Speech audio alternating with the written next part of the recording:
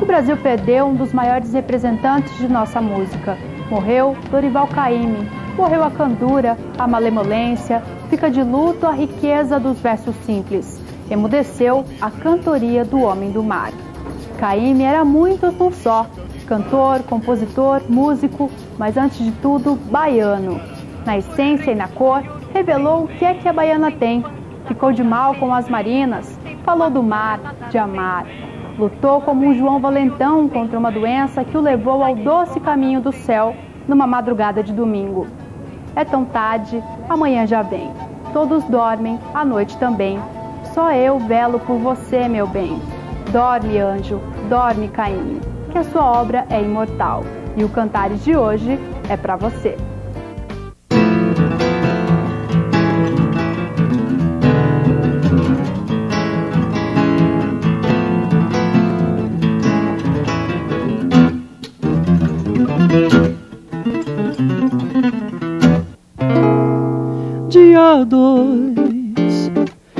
De fevereiro, dia de festa no mar. Eu quero ser o primeiro pra salvar Iemanjá. Dia dois, dia dois de fevereiro. Dia de festa no mar. Eu quero ser o primeiro pra salvar Iemanjá. Escrevi um bilhete a ela pedindo pra ela me ajudar. Ela então me respondeu que eu tivesse paciência de esperar. O presente que eu mandei pra ela de cravos e rosas vingou. Chegou, chegou, chegou. Afinal que o dia dela chegou. Chegou, chegou, chegou. Afinal que o dia dela chegou. Dia dois, dia dois de fevereiro. Dia de festa no mar. Eu quero ser o primeiro pra salvar Iemanjá. Escrevi um bilhete a ela pedindo pra ela me ajudar. Ela então me respondeu que eu tivesse paciência de esperar. O presente que eu mandei pra ela de cravos e rosas vingou. Chegou, chegou, chegou. Afinal que o dia dela chegou. Chegou, chegou, chegou. Afinal que o dia dela chegou. Dia dois.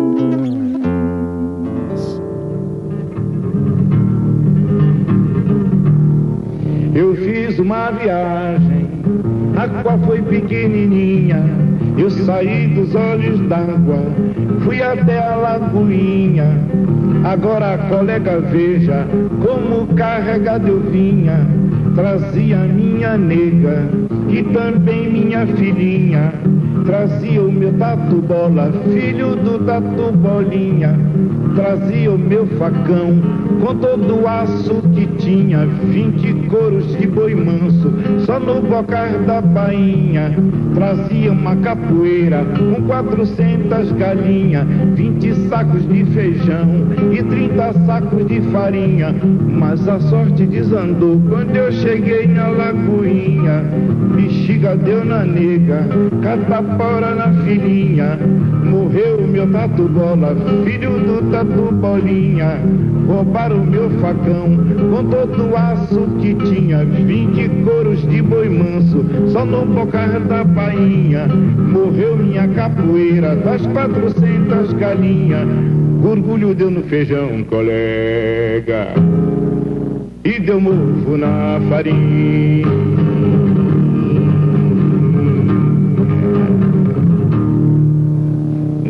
Caíme eu, eu ouvi desde criança, sempre tive essa influência através da minha família.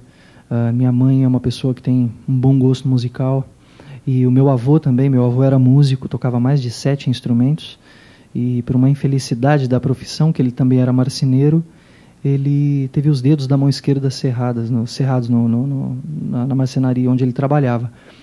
E eu ouvia muito, meu avô gostava muito de assoviar. Eu lembro que eu ia passar as minhas férias escolares na, no interior de São Paulo, em Franca, e ele cantarolava algumas coisas. Pega, às vezes pegava o meu violão para me mostrar algumas coisas, assim, com muita dificuldade, mas ainda conseguia tocar alguma coisinha.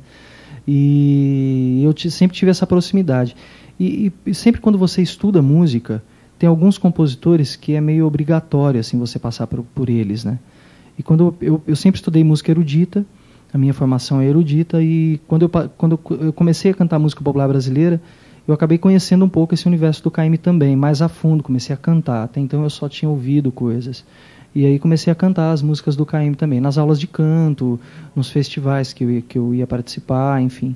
E aí esse contato no início da carreira foi mais ou menos assim, foi é, ouvindo as coisas na minha casa, depois o interesse pela obra mesmo, né? Eu, eu tô, hoje eu tenho 29 anos e eu comecei profissionalmente com 16 anos, cantando na noite e tal. Minha mãe diz que com 4 anos eu cantava Porto Solidão, assim, do Gessé, é, direitinho, a letra. Ai, eu não vou lembrar, é. Na palma da minha mão. Eu não lembro o refrão, como é que era o refrão? Vidas de ventos e velas, vidas que vem e que vai, a solidão. Só que eu não cantava é, o refrão, eu cantava qualquer coisa, menos a letra mesmo. Minha mãe que imita direitinho. Então eu sempre gostei de música desde criança. Minha mãe já sabia que ali saía, sairia uma, uma veia artística, né? E aí eu cursei arquitetura, que era uma coisa que eu também gostava muito e tem muito a ver com arte. E a música ela foi surgindo assim no, no, no, ao longo do tempo.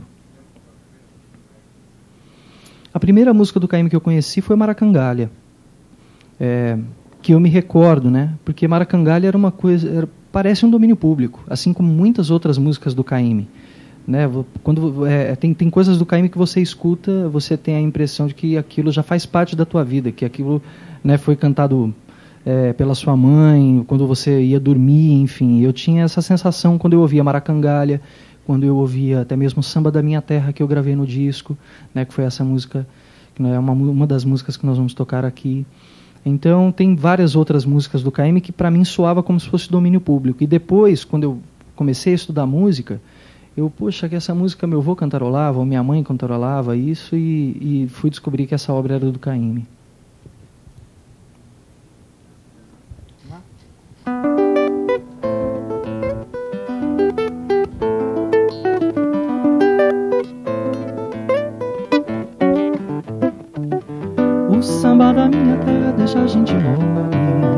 Se canta todo mundo bole.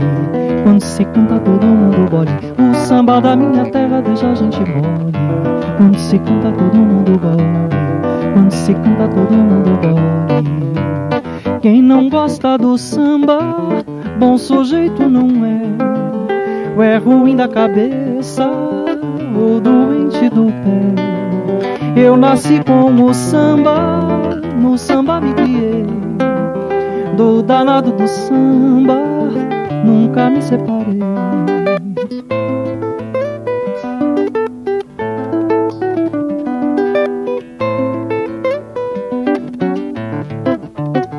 O samba da minha terra deixa a gente mole. Quando se canta todo mundo bole. Quando se canta todo mundo bole. O samba da minha terra deixa a gente mole. Quando se canta todo mundo bole. Canta todo mundo bole. Quando se canta todo mundo bole. Quem não gosta do samba, bom sujeito não é. É ruim da cabeça ou doente do pé. Eu nasci com o samba, no samba me criei.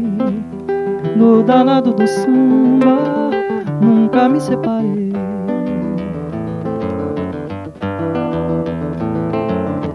O samba da minha terra deixa a gente mole. Quando se canta todo mundo bole. Quando se canta todo mundo bole. O samba da minha terra deixa a gente mole. Quando se canta todo mundo bole, quando se canta todo mundo bole, quando se canta todo mundo bole.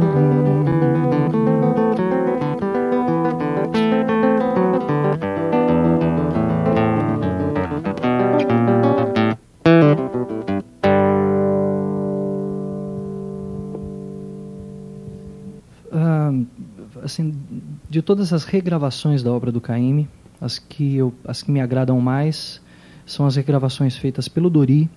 Né? Eu acho que ele mantém assim muito a ideia do pai, com acordes mais rebuscados, enfim, mais dissonantes. Gosto muito dele interpretando as músicas do pai. E gosto também do disco onde a, foi a Rosa Passos também fez um, né, um disco com, com músicas do Caime. E tem um disco que ele já é um pouco mais diferente, ele tem uma sonoridade, uma sonoridade é, é, mais jovem, assim, mais para cima, que é um disco que a Gal Costa também gravou, que é um especial do Caime. E bem diferente a releitura que ela fez. A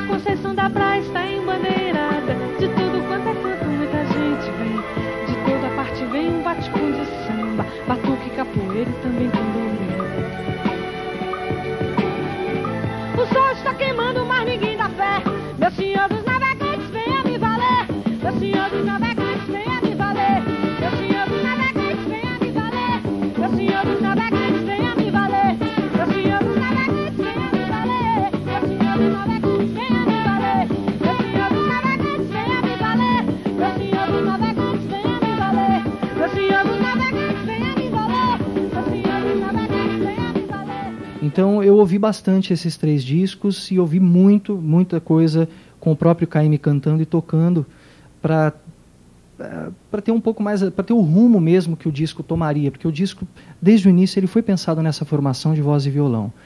Uh, então eu ouvi muito aqueles discos que o Caime mesmo toca, que ele mesmo interpreta as suas músicas, né? E, mas os discos que eu mais ouvi mesmo as, foram as interpretações do, do, do Dori, da Gal Costa e da Rosa Passos. E entre eles, acho que o da Rosa Passos é o que eu mais gosto. Então, isso também foi um diferencial, porque na maioria dos discos que eu ouvi, uh, o repertório ficava. Uh, era um repertório mais conhecido do Caime. E eu queria manter isso também dentro do trabalho, com outros arranjos, outra releitura.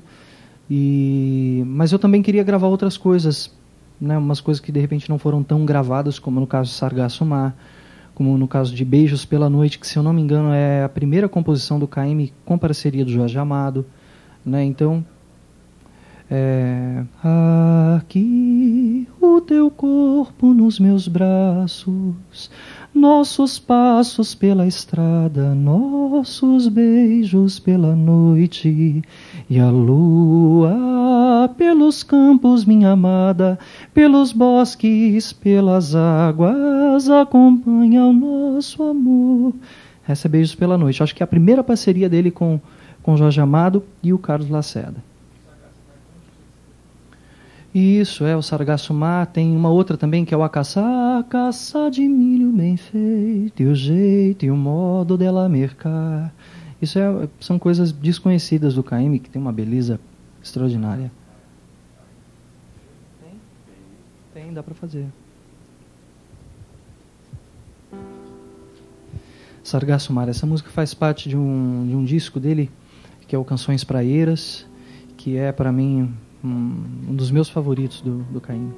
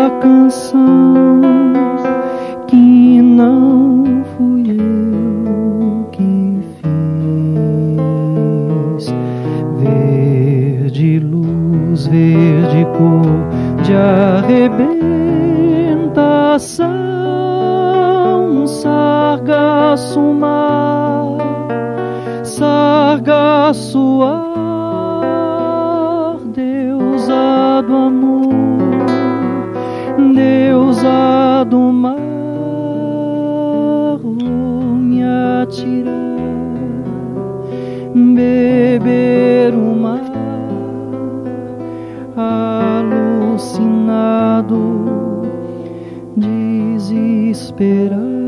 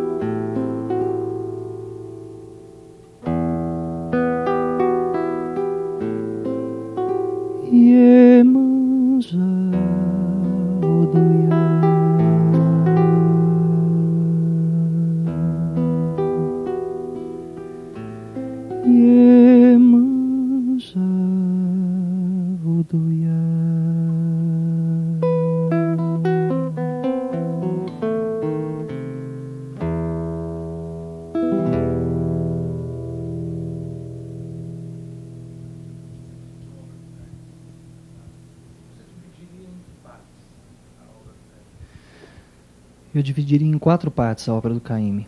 Quatro, quatro vertentes, vamos dizer assim.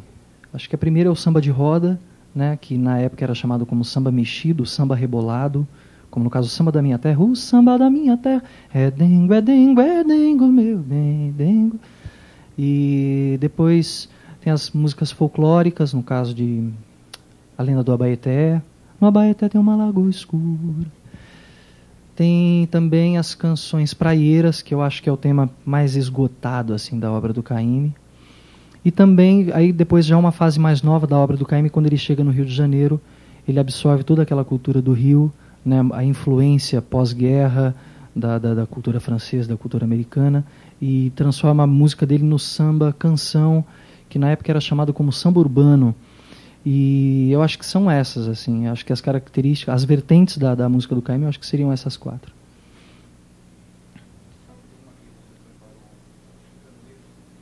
Tem.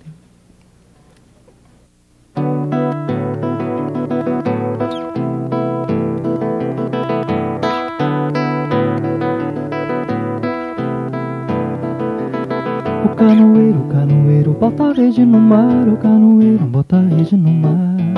O canoeiro, canoeiro, bota a rede no mar. O canoeiro, bota a rede no mar. Seca o peixe, bate o remo, puxa a corda, colhe a rede. O canoeiro, puxa a rede do mar. Seca o peixe, bate o remo, puxa a corda, colhe a rede. O canoeiro, puxa a rede do mar. Vai ter presente pra Chiquinho, vai ter presente pra Eia. O canoeiro, puxa a rede do mar. Seca o peixe, bate o remo, puxa a corda, colhe a rede. O canoeiro, puxa a rede do mar. O canoeiro, puxa a rede do mar. O canoeiro, puxa a rede do mar. Louvado seja Deus, ó meu Pai. Louvado seja Deus, ó Louvado seja Deus, ó meu Pai. Louvado seja Deus, ó meu Pai. Vai ter presente pra Chiquinho, vai ter presente pra Yaya, o canoeiro puxa a rede do mar.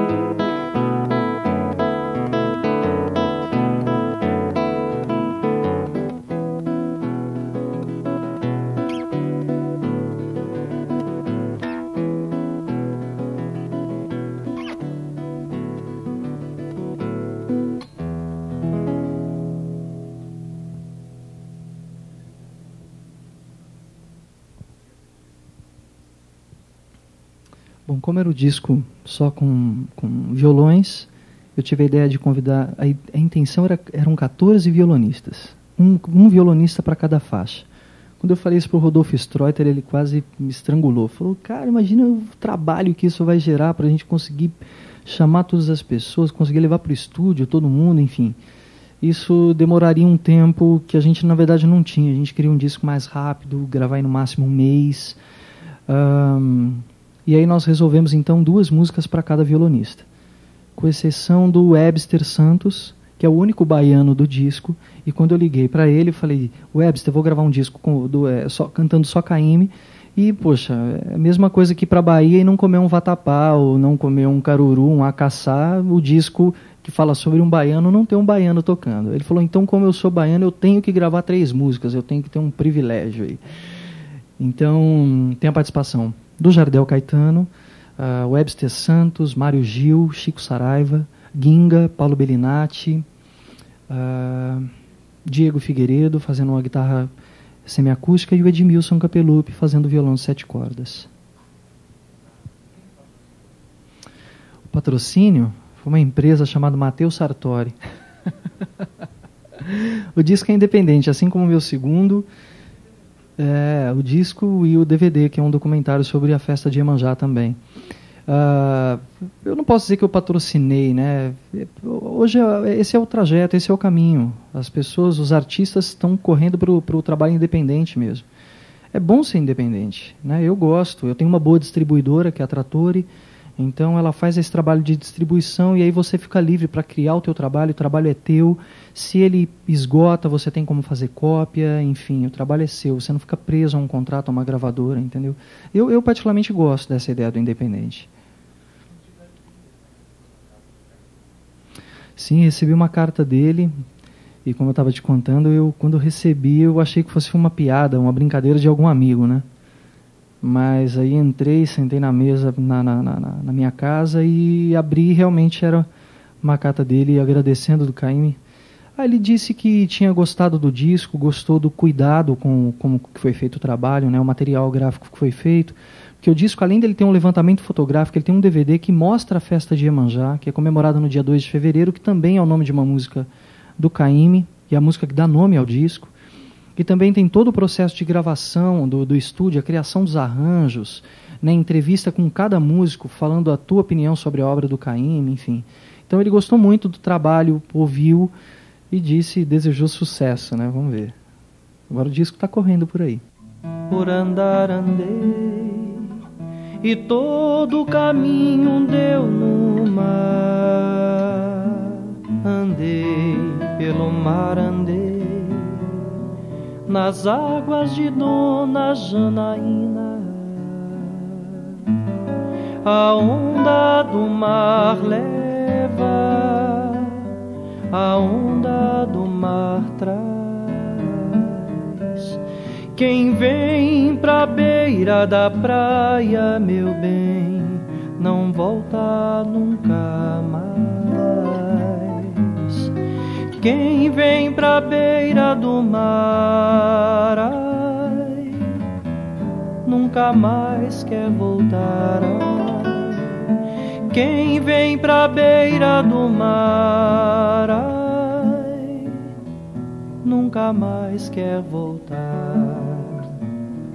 andei, por andar andei, e todo o caminho deu no mar. Andei pelo mar, andei nas águas de Dona Janaína. A onda do mar leva, a onda do mar traz quem vem pra beira da praia não volta nunca mais. Quem vem pra beira do mar nunca mais quer voltar. Eu achei o outro take mais forte. É, o outro foi melhor mesmo, né? Não é, não é só por causa do, do, do que aconteceu agora no final com esse pequeno erro, mas o, o tava mais ajustado o violão com a voz, você não sentiu isso não, Paulinho? Senti, acho que a gente quis fazer coisa demais. Né? É, eu acho que essa música é mais simples. É, o, o negócio do Caim é foda, bicho, que não pode botar tênis, tem que ficar de chinelo. É. a música do Caim é boa, né? É. uma música boa, ela, ela te inspira, assim. Né? É, esse lado é bom. Por outro lado, essa coisa da simplicidade dele é uma dificuldade de contornar, né? É. É, nem sempre. É, quando a gente faz um arranjo, a gente quer sempre colocar algum. trocar as harmonias, né? Dar um, colocar uma acorde diferente e tal. E nem sempre isso dá certo a nível expressivo da música do Caim. Oh, Dora, oh, Dora, eu vim à cidade pra ver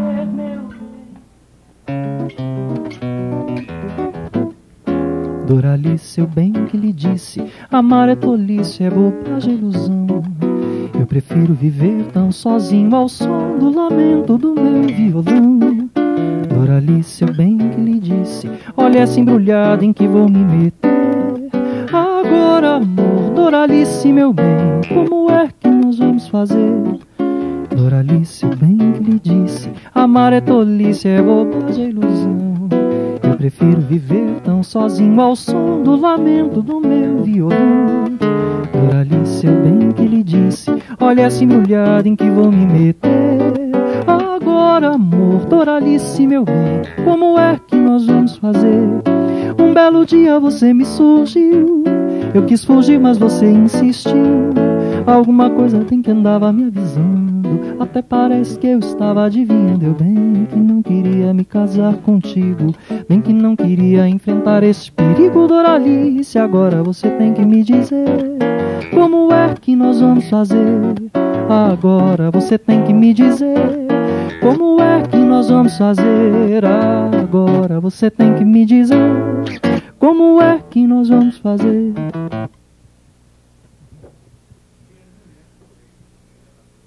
Várias mulheres. Juliana, Doralice, adora. A Dora tem uma história muito bonita, porque ele, ele, tá, ele como todo brasileiro, foi para Pernambuco, se não me engano, para gravar numa rádio, para fazer um programa de uma rádio. Chegou lá, não tinha reservado hotel. Então ele foi para um bar e ficou até umas três horas da, da manhã, que a partir das três horas ia vagar um quarto e ele poderia ir para o hotel. Então ele foi para esse bar. Quando ele estava saindo rumo ao hotel, estava vindo um cordão chamado Pão da Meia-Noite.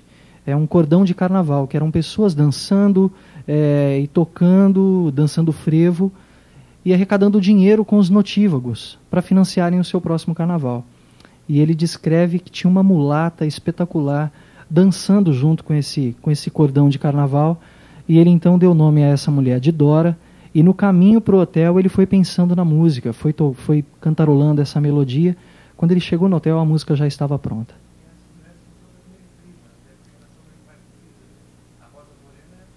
Sim, Rosa Morena é, é, é uma delas. Vamos fazer ela.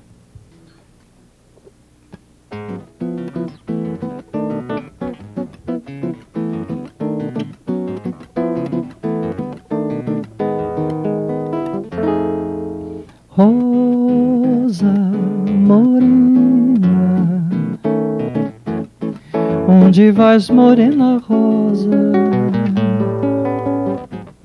Com essa rosa no cabelo e esse andar de moça prosa.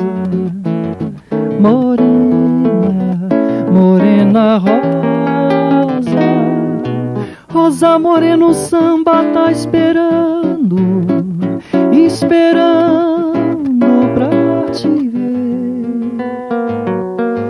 Deixa de parte essa coisa de dengosa. Anda, rosa, vem me ver. Deixa de lado esta pose, vem pro samba, vem sambar. Que o pessoal tá cansado de esperar. Oh, rosa, que o pessoal tá cansado de esperar. Morena rosa, que o pessoal tá cansado de esperar.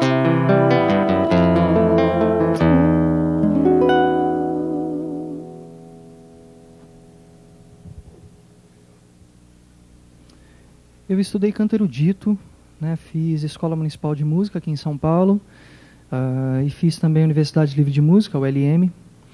Na ULM eu estudei regência coral, fiz canto também lá e aqui na, na Escola Municipal de Música fiz uh, canto. A minha, na verdade lá eu estudei canto e, e faltava em algumas aulas de teoria para assistir às aulas de regência com a Naomi.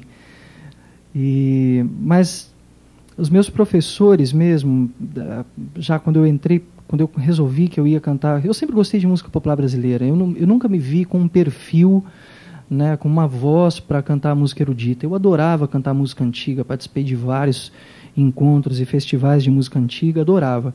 Mas sempre gostei muito da impostação, da, daquela coisa mais livre que, que a música popular que, que, a, que a música popular te oferece, né? Uh, aí eu fiz, eu fiz uns, uns, workshops nesses festivais de inverno, de verão que tem pelo país afora. Fiz alguns, fiz acho que uns quatro com a Mônica Salmazo. Uh, fiz algumas coisas com a Regina Lucato, que é do grupo Garganta Profunda, do Rio de Janeiro. Uh, estudei um pouco com a Clara Sandrone, com a Concília Latorre. E fui meio que fuçando ali, assim. Que me tocam mais. Eu sou apaixonado pela Mônica Salmazo, cara. Eu tenho uma admiração por ela. Para você ter uma ideia, no show do Chico que ela está apresentando agora, né, do último disco, eu fui quatro vezes. No mesmo show, no mesmo lugar. Eu acho que ela é perfeita, bicho. Não sei te explicar o que é, mas ela tem, ela tem uma voz doce, ao mesmo tempo uma voz meio areiosa, assim, e, e uma técnica vocal Uh, não erra uma nota, sabe? É uma coisa, mas não é uma coisa. Eu acho que ela não passa aquela preocupação de acertar as notas. Aquilo é a voz dela. Assim como, por exemplo, uma pessoa que eu ouço muito, né? Eu faço parte da Associação Brasileira Elis Regina em Movimento e eu tenho muita coisa da Elis Regina. Eu ouço muito a Elis. A Elis é o oposto da da, da, da Mônica, né? E das vozes masculinas eu gosto muito do Renato Braz. Ouço muito ele. Ele fez participação no meu primeiro CD também. E ouço muito Ney. Meu sonho é conhecer o Ney Mato Grosso, cara. Acho ele formidável. Adoro ouvi-lo.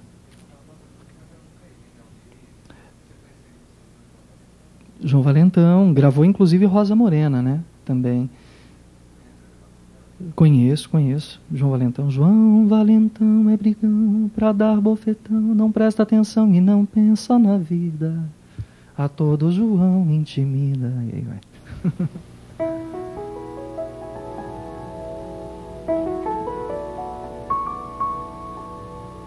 João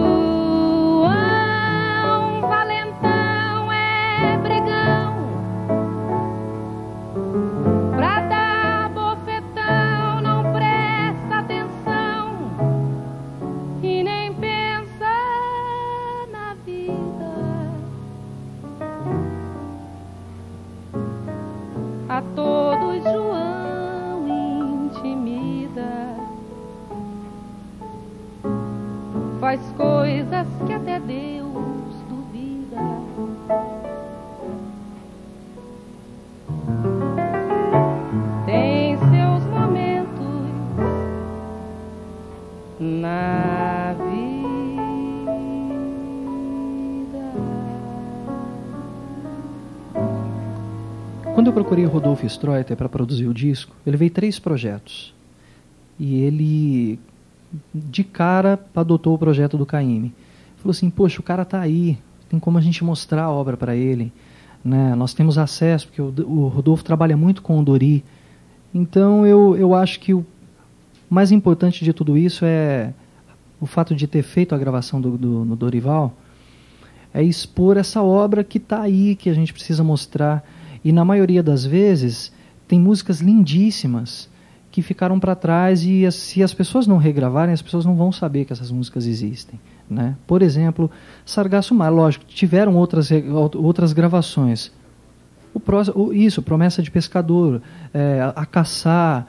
Uh, tanto é que o Danilo, quando eu mandei o repertório para ele, ele falou: Poxa, que legal, um repertório diferente. Porque tem as coisas mais conhecidas, como no caso de Rosa Morena, o Samba da Minha Terra, Você Já Foi à Bahia, mas também tem essas essas outras músicas que, que já são um pouco mais desconhecidas do repertório do Caymmi.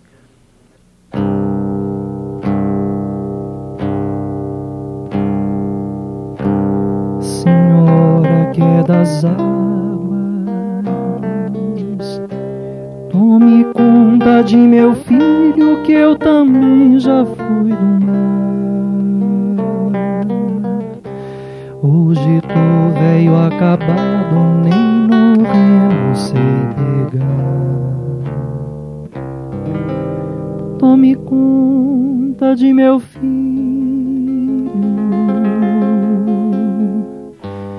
que eu também já fui do mar.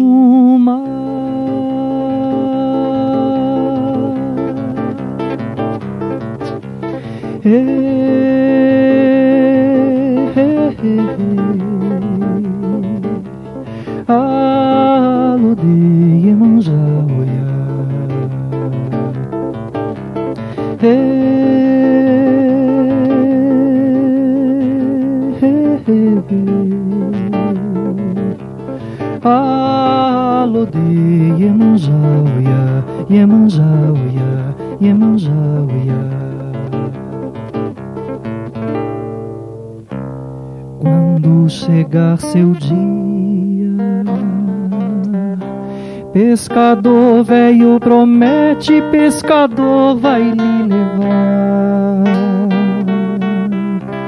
um presente bem bonito para Dona.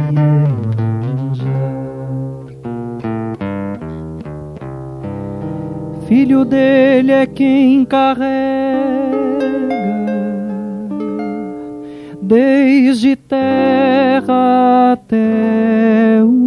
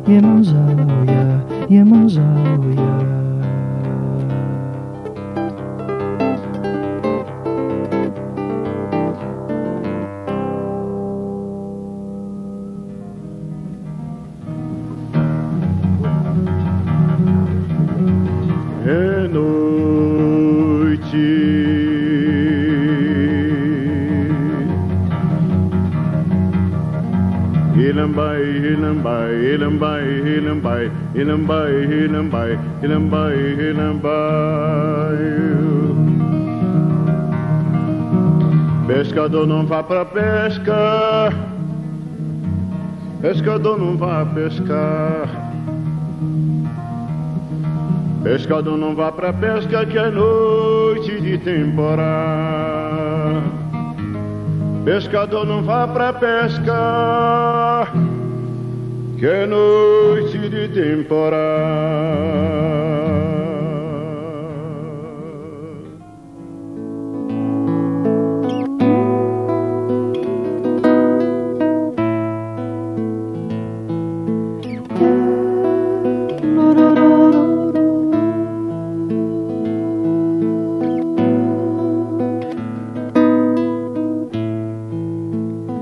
Você já foi à Bahia Negra, então vá.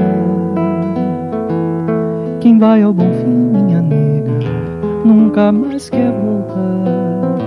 Muita sorte teve, muita sorte tem, muita sorte terá. Você já foi à Bahia Negra, então vá. Você já foi à Bahia Negra, então vá. Quem vai ao bom fim, nega, nunca mais quer voltar. Muita sorte teve, muita sorte tem, muita sorte terá. Você já foi à Bahia Nega, então vá. Lá tem vatapá, tem caruru, tem munguzá. Se quiser sambar, então vá nas sacadas dos sobrados da velha São Salvador. Há lembranças de donzelas do tempo do imperador. Tudo, tudo na Bahia faz a gente querer ver. A Bahia tem um jeito que nenhuma terra tem. Você já foi à Bahia,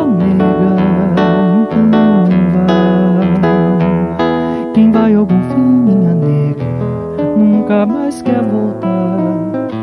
Muita sorte teve, muita sorte tem, muita sorte terá. Você já foi à Bahia, nega? Não, então vá. Lá tem vatapá, tem caruru, tem munguzá. Se quiser sambar, então. Você já foi à Bahia, nega? Não